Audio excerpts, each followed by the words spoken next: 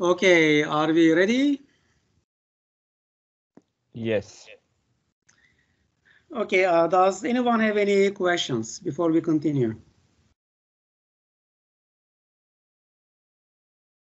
Okay, then no questions. So let's continue with uh, mechanical energy.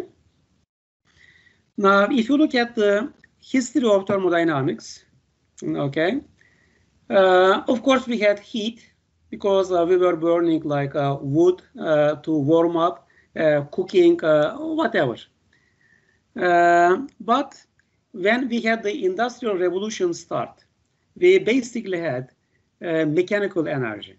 that is the pistons, motions, etc the things that are related to some kind of motion there. Uh, and uh, usually we had like the conservation of mechanical energy, mechanical energy, different types being converted to uh, each other. Uh, so it deserves a you know special consideration that the mechanical forms of energy, as I said at the beginning, energy has so many forms and so many different classifications. But this is, uh, I think, a, a good one, a mechanical energy. And the definition is the form of energy that can be converted to mechanical work completely and directly by an ideal mechanical device such as an ideal turbine. Mm, okay. Uh, that is, uh, if uh, a form of energy can be converted completely to work or power, okay, to mechanical power by a, a mechanical device like a turbine, then it is mechanical energy. Uh, examples, kinetic energy is that way, potential energy is uh, that way. Uh, let's say rotational energy, which is again kinetic energy, is uh, that way. Mm, okay. Uh, now, uh, it is associated with some force acting through a distance. We are familiar with the potential energy we just discussed, the kinetic energy, and uh, they are, you know, uh, mechanical forms of energy uh, because they can be converted uh, by an ideal uh, turbine completely to mechanical work and to electricity by an ideal generator. Now keep in mind uh, pressure is a force, okay, and pressure acting through a distance, uh, it is, it corresponds to work called flow work, which is really considered as flow energy. We will discuss this in detail uh, later on, okay? Uh, but this P over rho, it is called the flow energy, or PV. Sir, yes. Uh, we cannot see your screen now. Uh, you cannot? Okay. Then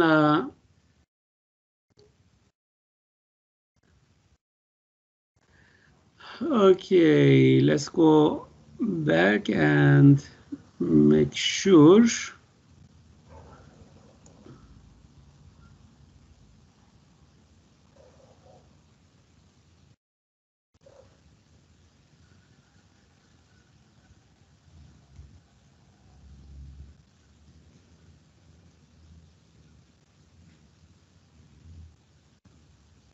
Now I can see. Okay, you see full screen, right? Okay, yes. uh, uh, thank you. Thank you for pointing that out because I thought you were seeing it. Uh, okay, uh, so uh, this uh, P over rho, or it is the same as a PV. It is called the flow of energy, and we will give details on that one later on. Okay. Uh, it is also called uh, PV. Uh, so if you combine the three together, okay, because a fluid, a fluid can have potential energy, can have kinetic energy, and can have flow of energy per unit mass. Uh, these three constitute the mechanical energy of a flowing fluid per unit mass. And uh, if the flow rate is m dot, okay, like kilogram per second mass flow rate, then m dot times P over rho plus V square over 2 plus GZ. Uh, this is the rate of mechanical energy of a flowing fluid. That is, a flowing, flow, flowing fluid has this much uh, mechanical energy uh, accompanying it. You will see these in very much detail in fluid mechanics using Bernoulli's equation, uh, etc. Uh, okay, but this is uh, in thermodynamics. It is also good to mention them. And if you uh, let fluid goes a, a process from state one to state two, then the change in its mechanical energy content per unit mass is simply P2 minus P1 over rho, uh, V2 square minus V1 square over 2, and G Z2 minus Z1. That is the mechanical energy at, uh, let's say this is the process, mechanical energy at the final state, okay, and then minus mechanical energy at the initial state. This is the change in the energy per unit mass. Multiply that by mass flow rate, uh, you get the rate of change of mechanical energy. And uh, to give some examples, okay, uh, for example, in hydroelectric uh, power plants, we have a turbine here, okay, and we have a generator. Generator converts mechanical energy to uh, electrical energy, which is transmitted to the power lines. Uh, here, if let's say we take uh, state one, this point, okay, and state two, that point, uh, the fluid undergoes, you know, uh, this process here. And at state one, it is uh, atmospheric pressure and state four again atmospheric pressure. So the pressures are the same. Okay.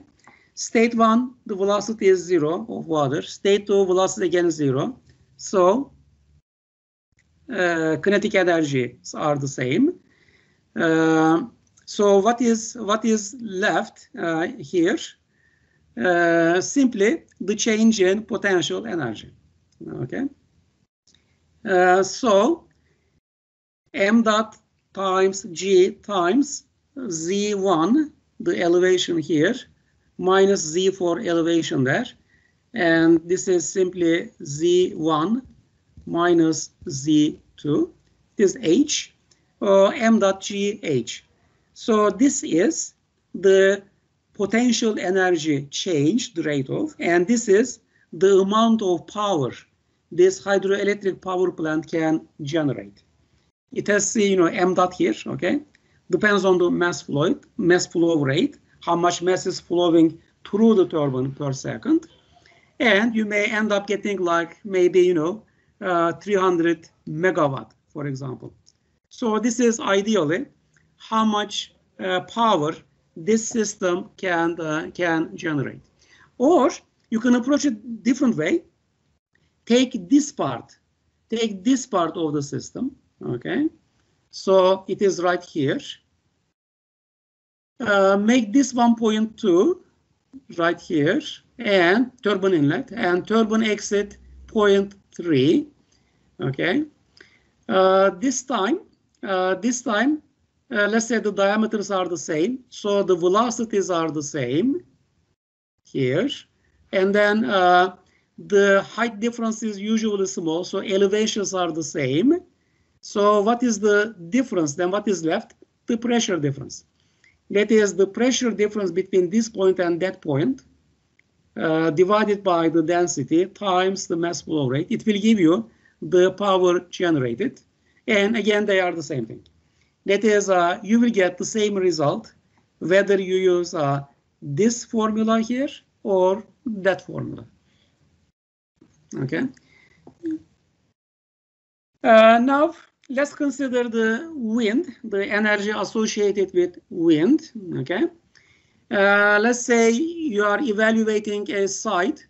Uh, uh you want to build a wind turbine or, you know, uh, maybe a lot of wind turbines, so wind farm.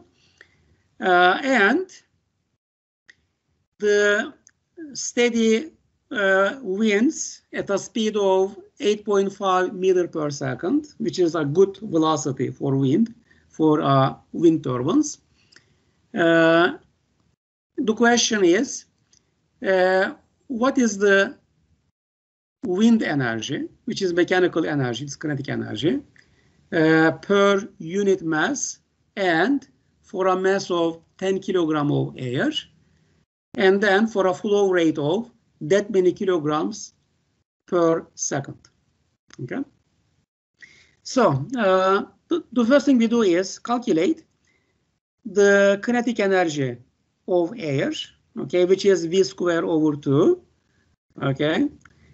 Uh, as I showed earlier, meter square second per second square is simply uh, what? Joule, uh, corresponds to joule there. Uh, so you do this unit conversion and you get 36.1 joule per kilogram, okay? Or this is the conversion factor, which is equal to one. You can multiply any, any, any term by one, right? So one square meter per second square is one joule per kilogram. So these cancel, okay? You end up with joule per kilogram. And uh, if you consider 10 kilograms of air, uh, multiply by 10, you get this 361 joules of energy. But uh, in reality, in engineering, we really care about the mass flow rate. That is how much air is passing through, how many kilograms of air passing through per unit time, okay, per second. It is the mass flow rate. So multiply the mass flow rate because if one kilogram has that much energy, okay, uh, uh, 1,151 kilograms per second will have that times energy per second, which is instead of kilojoule, kilowatt. Now that means uh, through this uh, area swept by the blaze of the turbine, okay, we have a mechanical energy flowing at a rate of 41.7 kilowatt. In other words, if you put a wind turbine here, okay, it can generate, it can convert this uh, kinetic energy, which is mechanical energy, into electric power. In ideal case, 41.7 kilowatt. Okay. Uh, but keep in mind that in reality, in reality, the conversion rate is about one third. Uh, that is probably you will have like you know uh, 15 kilowatts here uh, because nothing is perfect. Although ideally uh, the potential is there. Any questions on this example? Okay, no question. So these are the forms of energy associated uh, with mass. And now uh, let's look the energy transfer. That is, uh, we have a system. It can be a closed system or control volume. Uh, okay. Uh, and then the energy is changing. Energy is changing by uh, energy transfer. The system may be gaining energy or losing energy. And the only two forms of energy uh, a closed system can gain or lose energy is uh, the two mechanisms. One is uh, heat transfer, the other is work interaction. Okay. If you have an open system, then you also have mass, as we discussed uh, last time. Mm, okay. Uh, therefore, the energy can cross the boundaries of a closed system in the form of heat or work. So we need to discuss what this uh, heat is. These are not properties of the system, heat transfer, and also work done. Uh, okay. And what is the difference? Now, the main idea is uh, an energy interaction is heat transfer if, if the driving force, the driving force is a temperature difference. Okay. That is, let's say energy is entering a system. If there is a temperature difference between the system, let's say this is uh, 20 degrees and outside is 30 degrees and heat is entering this, energy is entering the system, that energy is heat, okay? Uh, because the temperature uh, difference here is the reason for the energy transfer there. And the larger the temperature difference, as you see here, okay, the larger the heat transfer rate. But if let's say the system is perfectly insulated, okay, so heat cannot enter, perfect insulation, or the temperature inside and outside are the same, so that the driving force for energy transfer cannot be heat, heat transfer, then it is work. Okay. To be more specific, work is associated with a force acting through a distance. Okay, it is important to distinguish between the between the two forms, but these are the only two kinds for a closed system. Okay, if let's say a system is gaining or losing energy, it is either by heat or by work. And if the system is, uh, uh, let's say, and that uh, heat transfer is the same as the uh, latent or sensible heat that the system possesses. Uh, therefore, which, which is also thermal energy. Let's say a baked potato, okay, hot potato there. Uh, let's say it has two kilojoules of thermal energy, okay. Now, this energy is the part of the energy of the potato. But if it is, let's say this is hot and outside is cold and this energy is leaving, okay, the potato is cooling down. As this energy moves through the skin of the potato, which is the boundary uh, right here, okay, this is called heat transfer. So that 2 kilojoule thermal energy, which is which was initially part of the energy of the potato, now is part of the energy of the outside air. Okay, so energy is conserved, uh, but energy is transferred from the system to the surroundings, and the driving force is temperature difference. So this is heat transfer. Okay, so this is a heat transfer here. And the symbol we use for heat transfer is Q. Okay. The unit is kilojoule again. Uh, sometimes we express the heat transfer per unit mass. So if you divide the Q by mass, we get small q, and it is a heat transfer per unit mass. And if you know the rate of heat transfer, okay, that is heat transfer per second, for example, and you want to determine the amount of heat transfer, the amount, okay, then what you do is simply integrate.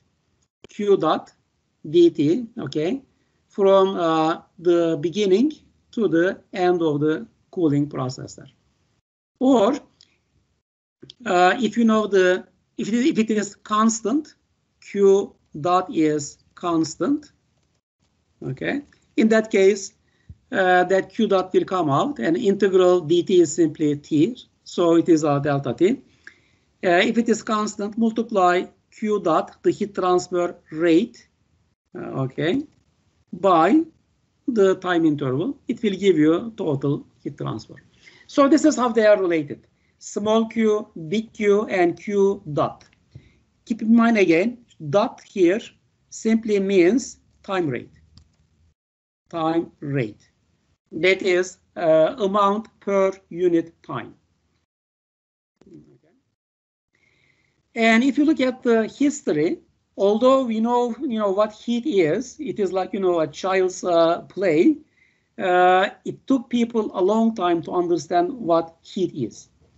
And uh, historically, uh, Lavoisier, uh, he established the, uh, the theory of heat as a caloric, as a substance, okay, that his was, heat was thought of as a substance, uh, which was uh, colorless, uh, invisible, uh, okay, tasteless uh, substance. And they were thinking like that substance, like a ghost, it was flowing from hot body to cold body, and uh, it was called uh, caloric.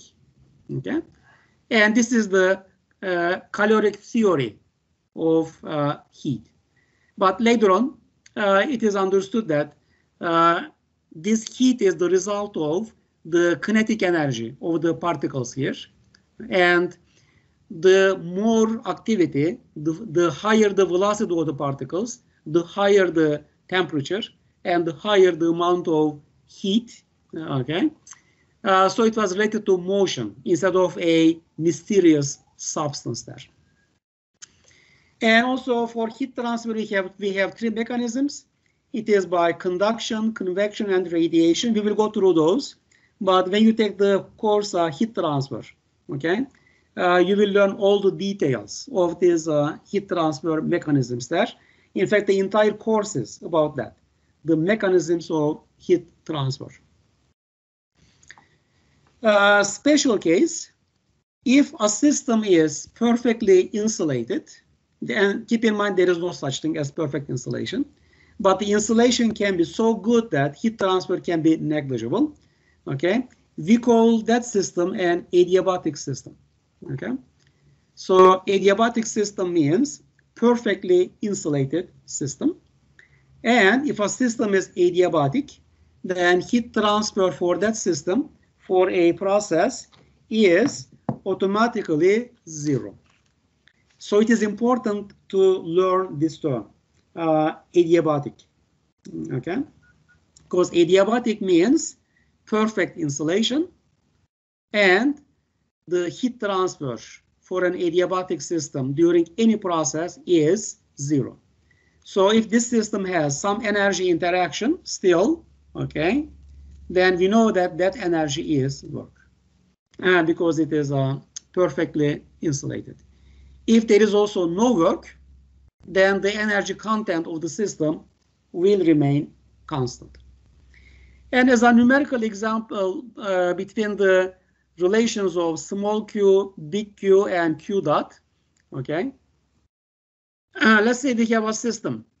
The mass is uh, 2 kilogram, and there is a 30 kilojoules of heat entering the system, okay, during 5 seconds. Uh, what is the heat transfer rate and heat transfer per unit mass? Okay, the heat transfer rate is this one, uh, Q divided by delta T. Okay, Q is 30, delta T is 5, so it is 6 kilojoule per second, which is kilowatt. And then heat transfer per unit mass, it is uh, big Q divided by uh, mass, uh, okay, which is uh, 2 kilogram. So 30 divided by 2 is 15 kilojoules per kilogram. So again, this is how they are related. Okay. Uh, now, uh, energy transfer by uh, work. As I said before, uh, if an energy transfer for a closed system is not due to temperature difference, it is not heat, so it must be work. okay, and usually work is uh, associated with a you know rising piston, a rotating shaft, uh, electrical wire crossing the system boundaries. Uh, so we have some kind of influence, some kind of force acting through a distance. Uh, okay, uh, so uh, and uh, usually uh, from the equipment involved, we can recognize it. So we can recognize the uh, work. now. In thermodynamics, in the past, we used to use some conventions like, you know, heat in is positive, but work in is a negative or something very confusing. So uh, in this course, we will not use a sign convention. We will simply use, uh, we will simply use the subscripts indicators uh, in and out. okay. therefore, Q in is simply Q in is uh, simply heat entering, okay, and Q out is simply heat leaving, and W in is work entering, W out is work leaving. So uh, these uh, subscripts in and out, they indicate direction. So it is very intuitive. Let's say you are solving a problem, okay, and uh, they say work is involved, the problem, but uh, you don't know whether work is done on the system or by the system. That is whether work is into or out of the system. How can we then solve the problem if it is not given? Uh, what you do is you assume something.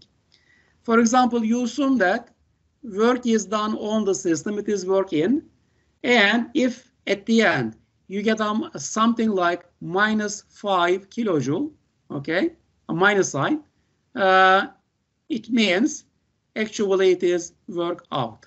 So it is work done by the system, okay? So uh, this is also what we do in statics, okay? There is a force, you don't know the direction, you assume a direction, and then if you get a negative numerical value, you know that the assumed direction is wrong, and you simply reverse it. Uh, same example is valid for work. Okay, uh, we have big W to denote the work and work per unit mass. Uh, it is simply small w. Okay, and if you know the work and you know the total time, uh, if you divide, uh, not Q, you will get simply power work done per unit time. Uh, so a system does, let's say, 30 kilojoules of work, okay? And the system is again uh, 2 kilogram. Again, the same example. Uh, what is the power that is work done per unit time? Uh, it is a total work, which is 30, uh, divided by delta t, which is 5 seconds, uh, okay? And you get 6 kilojoules per second, which is kilowatt and then total 30 mass 2 divide the uh, 2 you get 15 kilojoules per kilogram so small w is total capital W divided by uh, mass. That is uh, no difference there. Mm, okay. Now uh, keep in mind that uh, heat and work they are associated with a process. The systems don't possess work or heat. They are interactions okay? And uh, uh, the properties are said to be point functions. That is, states are points. At a state, they have values. but heat and work, they are said to be path functions. They follow the process path. So there must be a process path. Uh, therefore, if you integrate from 1 to 2 dV, let's say the change in volume, you simply get delta V the final volume minus the initial volume for properties. But for uh, interactions like heat and work, during a process, uh, integral, that is you adding, uh, adding the differential works, okay? It, what you get is not W2 minus W1, okay? You don't have anything like that. It is simply W2, okay? Uh, meaning you simply add up the works there. Uh, it is the, re the, reason that we call uh, heat and work path functions. At a given point, they don't have a value. Okay. Uh, let's say the room, the, the air in this room. Uh, what is the work? Mm, there, there is no answer. Uh, what is the energy? We can calculate. Okay, what is the heat? Again, or heat transfer? Uh, we don't know. but let's say the room is at 20 degrees, outside is 5 degrees. Okay, uh, what is the heat loss to the outside? That we can calculate. Okay, because there is a change. Let's say how much heat transfer for five for five minutes. Measure the heat transfer for five minutes. Just add them up. Okay, let's say per second to each value. Uh, that will give you the total heat transfer. Mm, okay, so let's say a system going from state one. This is the volume volume 1, volume 2 expanding. Okay, initial volume is 2 cubic meters, the final 5. Okay, no matter which process path it follows, change is the same. Okay. But depending on which process path the system takes, the amount of heat transfer, work, uh, whatever, uh, they can be different. Okay. For example, work can be 8 for one case, can be 12 the other case. Uh, but delta V is always the same.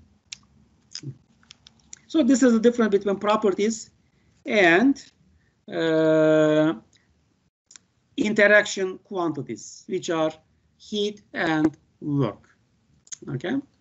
Now let's go through the uh, examples so that we understand these concepts better. Okay. Uh, now, question. Again, these examples are in the book. The uh, a candle is burning. We have a candle. It is a burning uh, in a well insulated room. Okay, now when you see the phrase well insulated, again, you know that there is no heat transfer. It is uh, adiabatic. There will be no heat transfer there. Okay.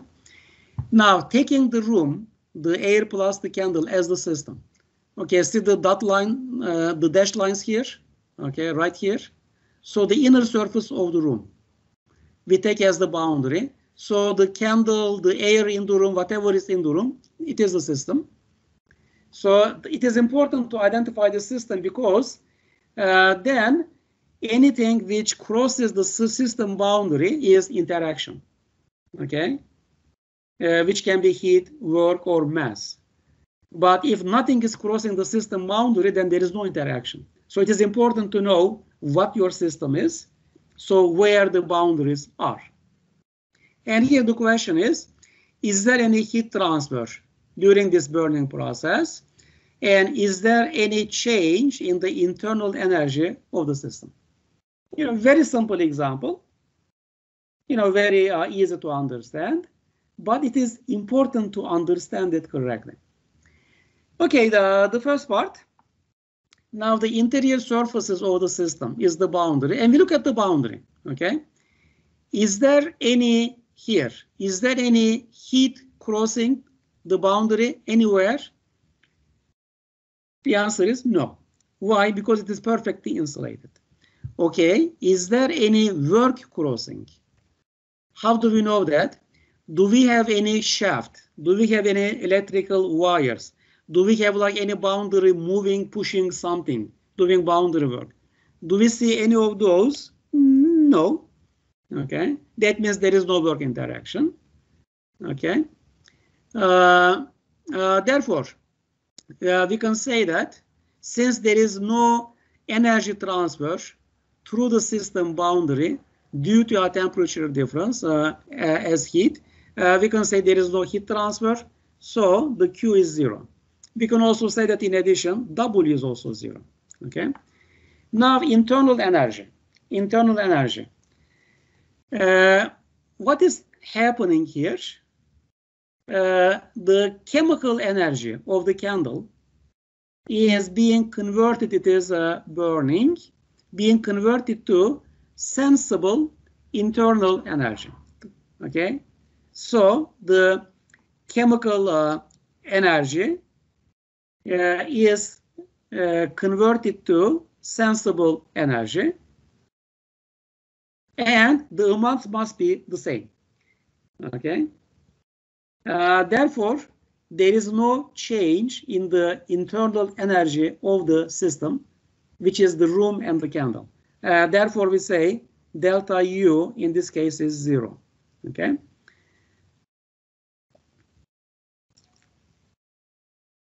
Is that clear? So the whole thing is internal. Now, uh, if I took the candle as the system, now the energy changes because part of the chemical energy of the candle is now no longer in the candle.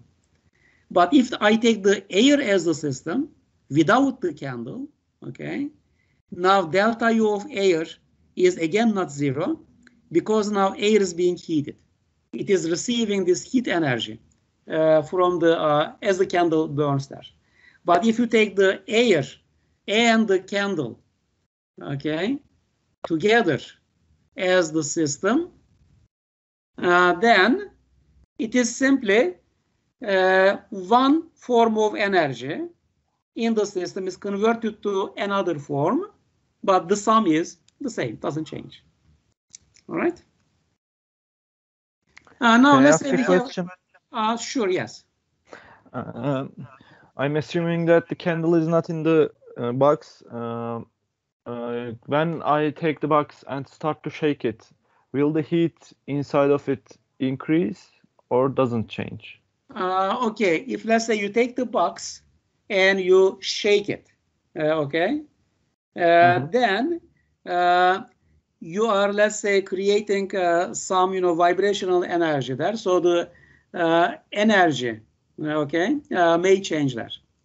but it is uh, Okay. ex- externally externally uh, applied uh, energy, okay. So in this case, unless we say otherwise, we assume it is uh, stationary. So we are not, you know, uh, this is internal energy anyway. Uh, uh, we don't do anything uh, externally. We don't even, let's say, put an what, an electric field outside in case there is a capacitor inside or any magnetic field or uh, anything. Uh, just concentrate on the chemical and the uh, thermal energy here. Okay. And the assumption is that unless let's say other forms of energy are mentioned, the basic assumption is they don't exist and they are not relevant. Okay, uh, now uh, let's look at a potato in an oven. Potato is initially at 25 degrees and the oven is at 200 degrees. Uh, now the question is, is there a heat transfer during a uh, process? Okay, obviously potato is being heated, right? Because of temperature difference there. Uh, now this, this is a good question uh, because we are asking if there is heat transfer, but we are not specifying the system. Okay, and then then we have to answer it. Yeah, you know, uh, with uh, assumption. Uh, if you assume the potato is the system, then obviously there is heat transfer from the hot air in the oven to the potato. But if you assume, uh, as before, the interior cavity of the oven is the system, okay, and and we also assume the oven is well insulated, and typically they are, then there is no heat transfer. That is, if you assume the oven is the system, uh, you look at the boundary, okay, and if there is no loss, then no heat is entering or no heat is leaving, uh, then there is no heat transfer. So it depends on how you choose the system. It shows the importance of specifying the system. What are you analyzing? What are you studying? Okay, this is the general thing, but uh, the common sense says if I am baking a potato, most likely I am interested in uh, what is happening to potato in hot oven.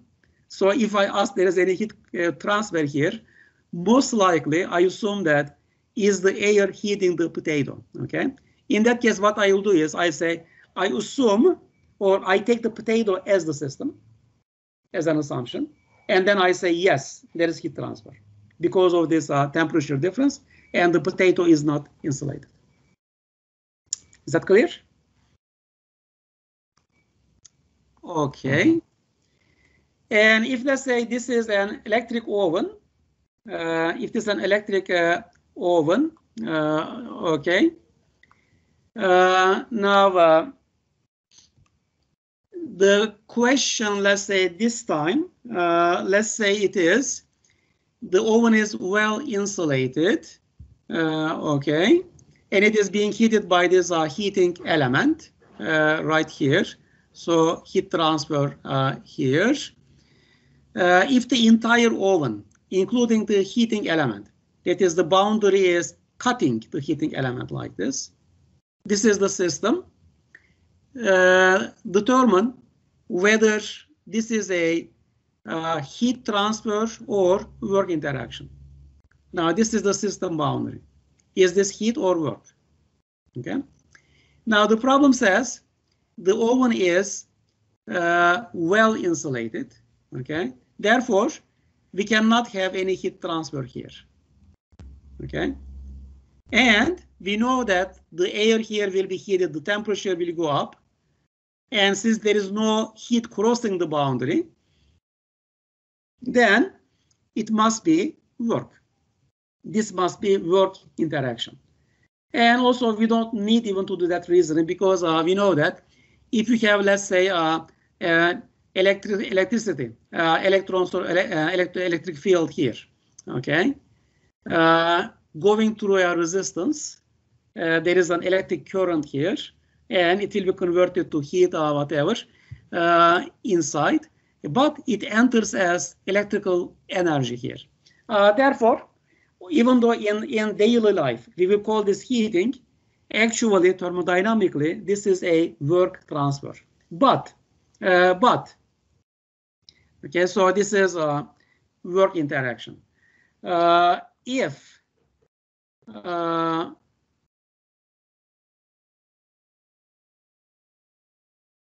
if you take your system as the air in the oven cavity so that the boundary is like this, okay, he, leaving the heating element outside, then it becomes heat transfer.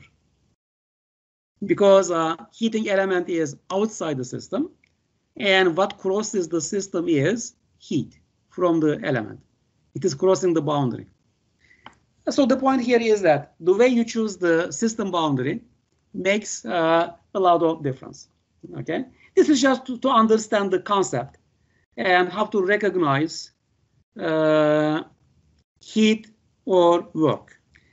In real life, in real life, uh, when let's say we have a problem like this, okay, uh, the question will be, if we want, let's say, this oven cavity temperature to go from room temperature to 200 degrees in five minutes, what is the size of the heating element that we need? The, a practical question will be like this, okay? And then you will just automatically calculate the uh, the power of that heating uh, element there. And uh, again, you remember from uh, high school uh, that uh, electric power is what? basically uh, voltage times electric current, uh, okay, uh, or uh, it is uh, resistance times uh, what? No, let's the voltage divide. Okay, let's do it this way. Current is voltage divided by resistance. So you can express this also as voltage square over resistance, uh, okay, as you see here, or uh, electric power is current square times uh, resistance. But this is the most common expression. That is typically you know the voltage and you know the electric current. If you multiply them, it will give you the electrical power. Okay. And if you want to know the amount of energy, uh, again, all you need to do is uh, multiply electric power during a certain time, delta t, by delta t. Uh, you will get the amount of electrical energy there. So these are the things that you remember from the past. And mechanical forms of work. This also you know from physics. Uh, mechanical uh, work is associated with a force acting uh, through a distance. Okay, so the force is F and the distance is S. Uh, so what is the work done? Okay, it is force times distance, assuming force is constant. Okay, but if force is variable, then work is uh, FDS. Okay, uh, integrated from 1 to 2 in case uh, force is variable there. Mm, okay. Uh, but the basic idea is uh, force is uh, simply I mean, uh, work is, uh, or mechanical work, force times distance. Uh, special case, the uh, torque and the shaft work. Uh, this, this is used a lot, okay, uh, in real life. Now, keep in mind that torque is, what we call torque is really a moment. So it is a force F uh, acting uh, through, uh, let's say this distance here, okay. The moment arm is R, so that moment arm times F, it is the moment, which is the torque, okay. Force times the distance there. But for a rotating body, the distance is the uh, 2 pi r, okay, that distance. Circumference is uh, 2 pi r. This is for one rotation. If you have n rotations, you multiply this by n. Okay. Uh, therefore, the shaft work is uh, force times distance. Force is torque divided by r from here. Distance is 2 pi r n. Okay. So in terms of torque, uh, capital T, it is this way. But typically, instead of a certain number of revolutions, we have uh, RPM. RPM, which is revolutions per minute. And uh, we use the time rate and dot, okay? And we have this famous formula. 2 pi n dot times torque is uh, what? The power. Power transmitted by a shaft. Okay. Uh, it shows that torque and the number of revolutions for a fixed power, they are inversely proportional. Okay. Uh, therefore, if uh, for the same power, if let's say the number of revolutions per uh, unit time is low, you have low RPM, then you need a large torque. It is the reason that we use the transmissions in the car. Okay. If you are driving a car, okay, let's say the speed is low, uh, okay, then you need a large torque. Okay. Uh, and it is the reason that you have the transmission there. But if the speed is high, then a small torque will do. So you switch to a high gear.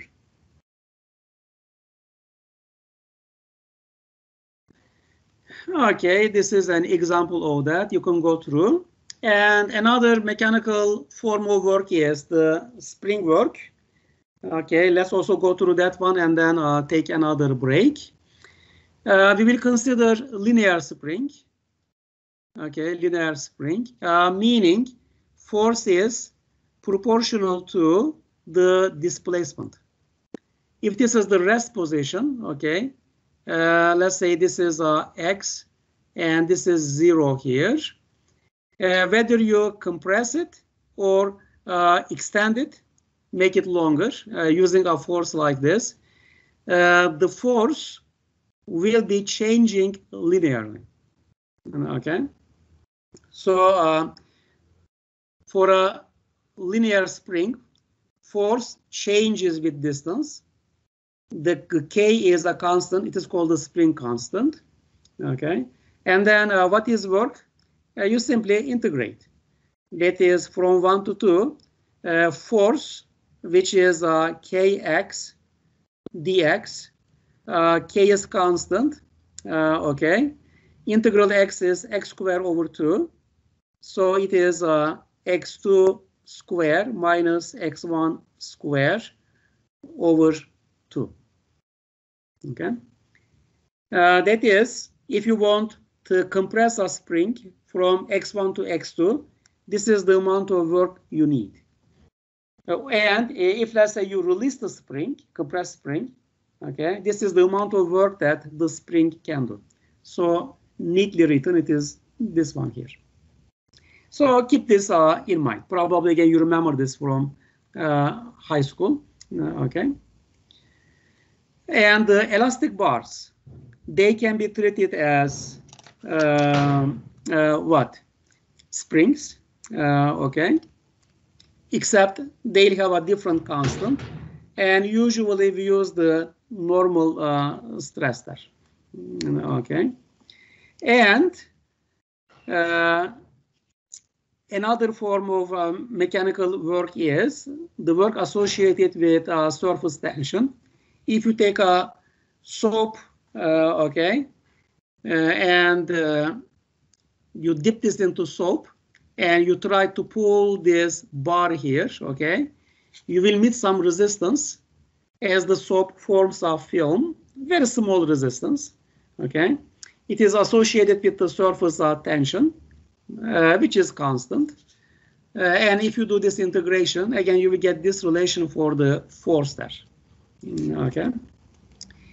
Uh, uh, again, in practice, uh, we hardly use it, but keep in mind that if you ever need to use it, uh, it exists and it is uh, here.